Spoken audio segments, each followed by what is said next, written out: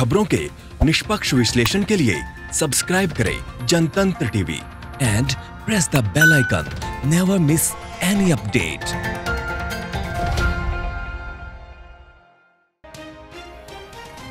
UP के बहराइच में bar association के वकीलों ने चीनी राष्ट्रपति शी जिनपिंग का पुतला फूक कर विरोध जताया और चाइना से किसी प्रकार के आयात निर्यात पर रोक लगाए जाने की मांग की।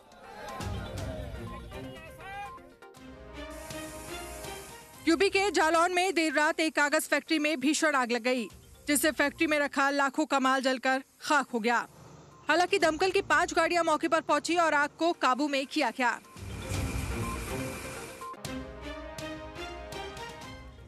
यूपी के महोबा में सड़क, बिजली, पानी जैसी मूलभूत सुविधाएँ न मिलने से परेशान लोगों ने अपने घर के बाहर मकान बिकाऊ है के पोस्टर लगा दिए, जिनमें लिखा है डस्ट के कारण मकान बिकाऊ है।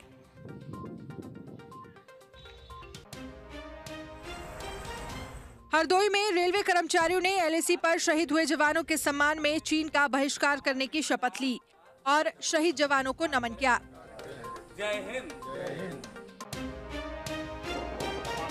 यूपी के वाराणसी में योग दिवस से एक दिन पहले हज़ारों लोगों ने योग किया। इस दौरान लोग सोशल डिस्टेंसिंग का ख्याल रखना भूल गए।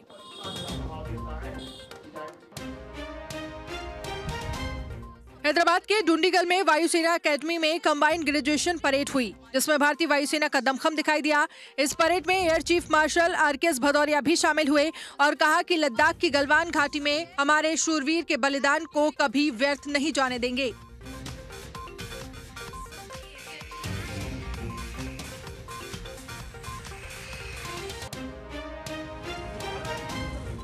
पश्चिम बंगाल के मेदिनापुर में बीजेपी कार्यकर्ताओं ने चीन के खिलाफ शांति मार्च निकाला, जिसमें वो चीन को पूरी तरीके से बहिष्कार करने की अपील करते दिखे।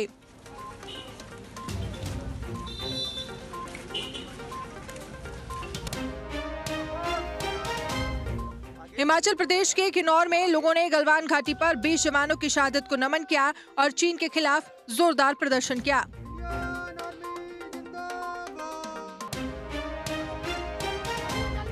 पश्चिम बंगाल में बीजेपी महिला मोर्चा ने वामपंथ सोच वाले अखबार गन शक्ति आर्टिकल को बंद करने की मांग करते हुए ममता सरकार के खिलाफ मोर्चा निकाला। हालाँकि प्रदर्शन बढ़ता देख पुलिस उन्हें जबरन गाड़ियों में भरकर थाने ले गई। और इस वक्त की बड़ी खबर आपको दिखा रहे हैं, दिल्ली में सरकारी क्वारंटीन का फैसला, वापस, एलजी अनिल बैजल ने वापस लिया है फैसला। फैसले को दिल्ली हाईकोर्ट में दी गई थी चुनौती। पाँच दिन के सरकारी क्वारंटीन का फैसला वापस लिया गया है। दिल्ली सरकार ने एलजी के फैसले का विरोध किया था। दिल्ली के उपराज्यपाल अनिल बैजल ने राजधानी में कोरोना के मरीजों को पाँच दिन इंस्टीट्यूशनल क्वारंटीन में रखने के फैसले को वापस ले लिया है। दिल्ली के उपराज्यपाल ने अपने आदेश में कहा है कि वैसे कोरोना पॉजिटिव मरीज़ जिन्हें अस्पताल में भर्ती कराने की ज़रूरत ना हो और उनके घर में होम आइसोलेशन के लिए पर्याप्त सुविधा ना हो, उन्हें ही पाँच दिनों के लिए इंस्टीट्यूशनल क्वारंटीन में भेजा जाएगा। आपको बता दें कि बैजल के इस फैसले को दिल्ली हाईकोर्ट में भी चुनौती दी गई थी तो अब इस फैसले को वापस ले लिया गया है। जो पाँच दिन के सरकारी क्वारंटीन के फैसले को वापस दिल्ली सरकार ने एलजी के फैसले का विरोध किया था।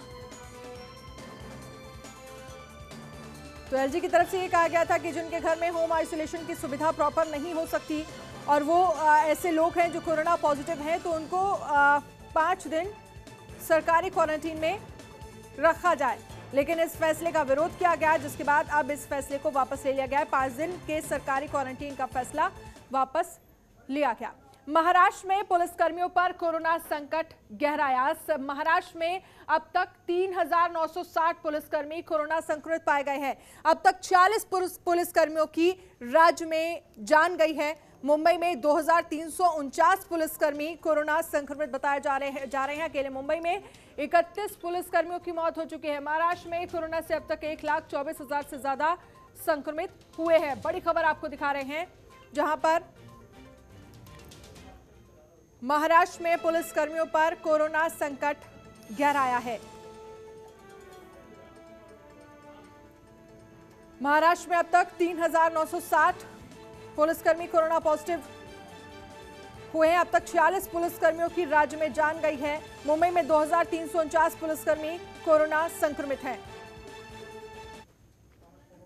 पाकिस्तान सीमा पार से हिंदुस्तान में हो रही गतिविधियों पर नज़र बनाए रखना चाहता है। इसीलिए उसने जम्मू के कठुआ के पास हथियारों से लैस ड्रोन का इस्तेमाल किया, ताकि भारतीय सेना की मूवमेंट को ट्रैक कर सके। लेकिन पाक हरकत पर नज़र बनाए हुए है। कैसे इस रिपोर्ट में देखिए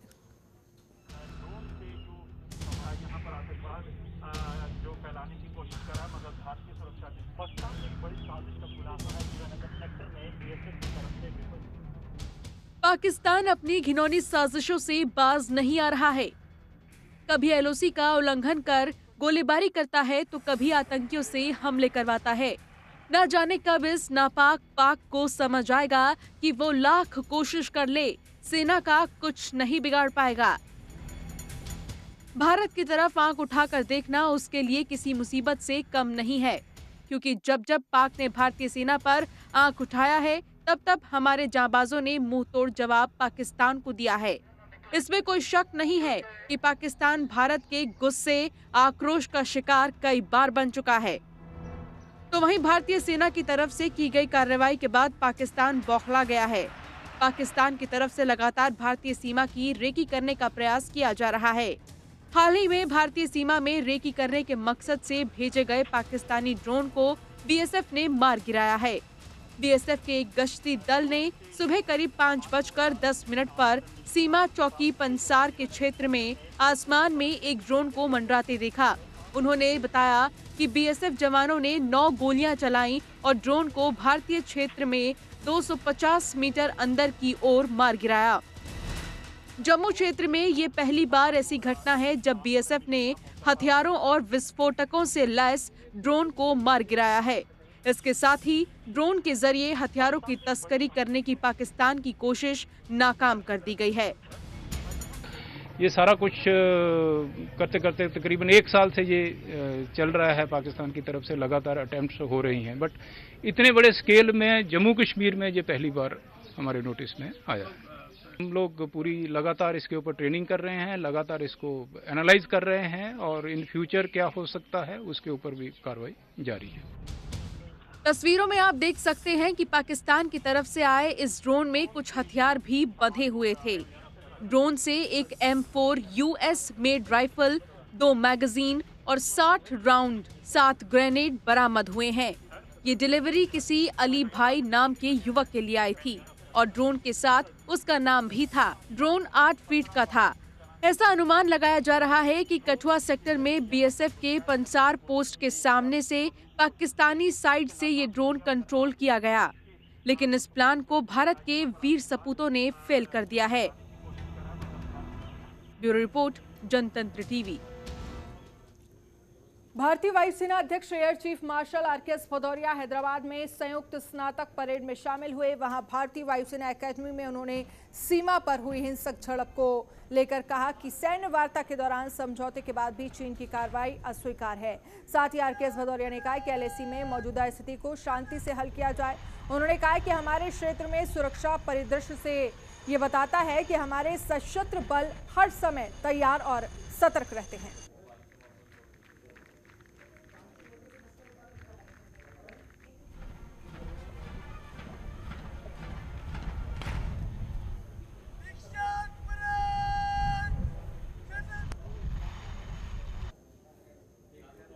has already released uh, their uh, press release and given the details that they can give at the moment.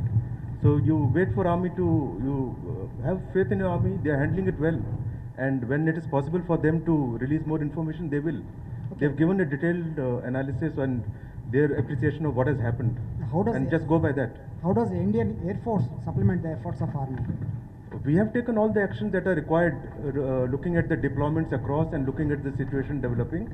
And uh, whatever actions we need to take, those have been taken, be rest assured. We are aware of the full situation, be it LAC, be it uh, deployments beyond LAC, be it all the air deployments, their posture, the kind of deployments, we have full analysis. And we have taken necessary actions that we need to take to handle any contingency that may come up with this kind of uh, deployment. Bihar CM Nitish Kumar का एक बयान उनके लिए आने वाले विधानसभा चुनावों में मुसीबतें खड़ी कर सकता है। जी हाँ, बिहार में लौट रहे प्रवासियों को राज्य की सुरक्षा के लिए खतरा बताने वाली बिहार सरकार के मुखिया नीतीश कुमार ने प्रवासियों के पैदल लौटने पर बयान दिया है। पीएम के साथ गरीब कल्याण रोज़गार अभियान योजना के शुभारंभ के मौके पर बोलते हुए नीतीश ने कह दिया कि कुछ लोगों की तो आदतें ही अलग अलग होती हैं। पाबंदी के बाद भी वो चलकर आ गए। आइए आपको नीतीश का वो बयान सुनाते हैं। हम लोगों के यहाँ तो बड़ी संख्या में ट्रेन से, पंद्रह हज़ार से भी ज़्यादा ट्रेन में लोग आए और पंद्रह लाख से भी ज़्यादा लोग ट्रेन से आए और बाकी बहुत सारे लोग तो बीस लाख से ज़्यादा। और बाकी लोग तो कुछ आ गए अन्य मार्ग से, सड़क मार्ग से भी। और कई लोगों की तो आदत अलग अलग होती है तो बहुत लोग तो पैदल और कैसे कैसे भी जब इस पर पाबंदी थी तब भी चलकर आते रहे। वो तो एक अलग प्रश्न है। और वहीं पीएम मोदी ने आज प्रवासी मजदूरों के लिए रोज़गार की समस्या को देखते हुए गरीब कल्याण रोज़गार अभियान योजना शुभारंभ किया। इस दौरान बिहार, मध्य प्रदेश, उड़ीसा, उत्तर प्रदेश, झारखंड और राजस्थान के मुख्यमंत्री भी मौजूद रहे। बिहार के मुख्यमंत्री नीतीश कुमार और डिप्टी सीएम सुशील मोदी भी इस मौके पर मौजूद रहे। खास बात यह रही कि इस योजना को बिहार के खगड़िया से लॉन्च किया गया और बिहार के सबसे ज़्यादा बत्तीस ज़िले इस योजना में कवर किए जाएँगे। हालाँकि ये पीएम मोदी की महत्वाकांक्षी परियोजना है, लेकिन बिहार से इसकी लॉन्चिंग की टाइमिंग पर सवाल ज़रूर उठ रहे हैं। बिहार चुनाव सिर पर है और ऐसे में केंद्र में सत्ता पर काबिज बीजेपी बिहार में किसी भी मौके को हाथ से नहीं जाने देना चाहती। बीजेपी को इस बात का अंदाज़ा है कि शहरों से बुरे हालात में अपने घरों को लौटे बिहार के प्रवासी मजदूर बिहार में सियासी समीकरण बदल सकते हैं। उस पर हाल ही में चीन से गलवान झड़प में शहीद होने वाले बिहार के सपूतों को लेकर भी जमीनी स्तर पर खासा नाराज़गी है। इसीलिए पीएम मोदी ने अपने संबोधन के दौरान न सिर्फ़ बिहार के शहीद जवानों को याद किया बल्कि शहरों से लौटे बिहार के प्रवासी मजदूरों से भी बात भी की। गड़िया से शुरू हो रहा यह गरीब कल्याण रोज़गार अभियान, इसी भावना, इसी ज़रूरत को पूरा करने का एक बहुत बड़ा माध्यम है। बिहार, उत्तर प्रदेश झारखंड, ओडिशा, मध्य प्रदेश और राजस्थान।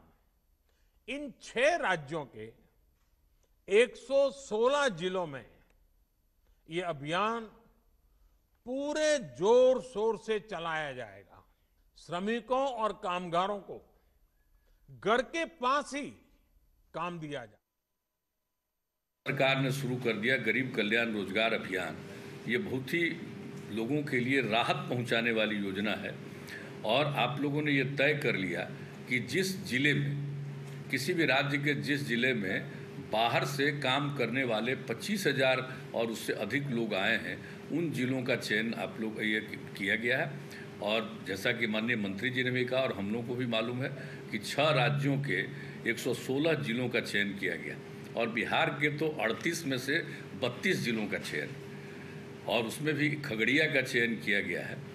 तो ये बड़ी खुशी की बात है और आप सब लोगों ने इस मामले में जो कुछ भी अभी माननीय मंत्री जी ने भी बता दिया और जो हम लोगों को जानकारी मिली है कि इसमें केंद्र सरकार को सिर्फ़ अकेले गरीब कल्याण रोज़गार अभियान में पचास हज़ार करोड़ रुपए से ज़्यादा खर्च करना पड़ेगा। तो ये खुशी की बात है, कम से कम जो लोग बाहर से आए हैं, उन लोगों को केंद्र सरकार की तरफ़ से ये जो राहत दिया जा रहा है ये बहुत ही प्रशंसनीय है।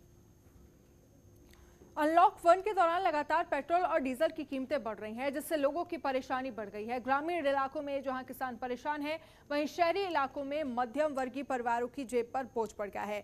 राजस्थान के धौलपुर में पेट्रोल डीजल बढ़ने से लोग परेशान हैं, वहीं धौलपुर में भी पेट्रोल डीजल की बढ़ती कीमतों से परेशानी बढ़ गई है।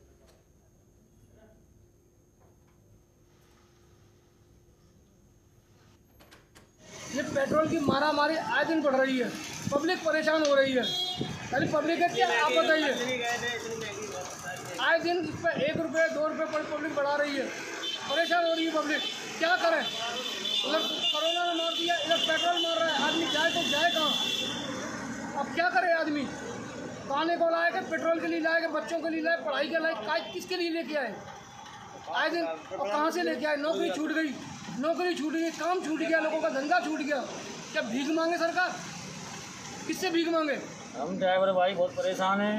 एक डीजल की महँगाई से बहुत ज़्यादा परेशान इतना डीजल बढ़ चुका है कि बेरोजगार हो, गए हम। कोरोना की वजह से तीन महीने से गाड़ी चल नहीं रही है भाड़े मिल नहीं रहे हैं और बहुत ज़्यादा परेशान है। कंपनी से भाड़े नहीं मिलते हैं और इतने परेशान हैं बहुत ज़्यादा बेरोजगार हो गए हैं हम लोग।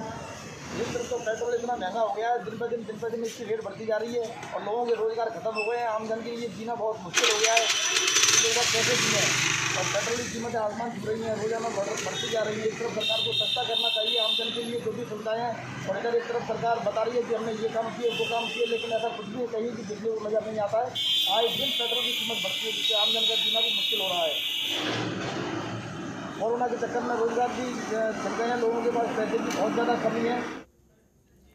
देश में लगातार बढ़ रहे पेट्रोल डीजल के दाम को लेकर आम आदमी पर महँगाई की मार पड़ी है। महँगाई की मार झेल रहे लोगों ने कहा है कि कोरोना वायरस काल में लगातार बढ़ रहे दामों के चलते वो परेशान है। ऐसे ही लोगों से बात की जनतंत्र टीवी के संवाददाता आशीष कुमार ने। रूप से परेशान चल रहे लोगों पर एक बार फिर से महँगाई की मार पड़ी है। जिस तरीके से डीजल, पेट्रोल के रेट कई दिनों से बढ़ रहे हैं, उसमें उन उन रेटों में जो है लोगों को जो है काफ़ी दिक्कतों का सामना करना पड़ता है। हमारे साथ कुछ लोग हैं जो पेट्रोल पे पेट्रोल डलाने के लिए आए हैं मैं बात करता हूँ। भैया क्या नाम है आपका? मेरा नाम अभिनेश है। अभिनेश ये बताइए जो पेट्रोल के रेट बढ़े हुए हैं इससे किस तरीके से आप लोगों का बजट बजट पेट्रोल के दाम जो बढ़े हुए हैं उसमें बजट में तो कुछ उतना नहीं है कुछ पैसों में बढ़ोतरी हुई है जो कि शायद इस मंथ में तीन चौथी बार हो चुका है। फिर भी सरकार को इस बारे में सोचना चाहिए कि जो परमान, परमानेंट दस दिन में, पंद्रह दिन में जो रेट बढ़ रहे हैं, उस पर थोड़ा रोक होना चाहिए। और इसमें जो भी तो कुछ पैसों में बढ़ोतरी हो रही है, उस पर पॉकेट पर थोड़ा असर पड़ता है।